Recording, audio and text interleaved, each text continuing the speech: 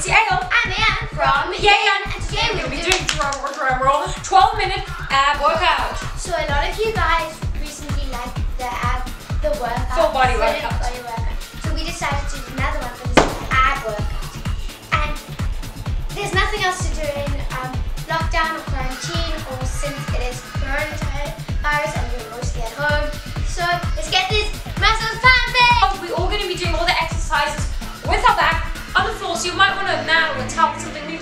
We've used a towel, and we're going to use the AstroTurf because it's soaking. So hopefully it doesn't rain in the middle of the workout. If it does, it's all my hands. So you don't blame my hand. Yeah.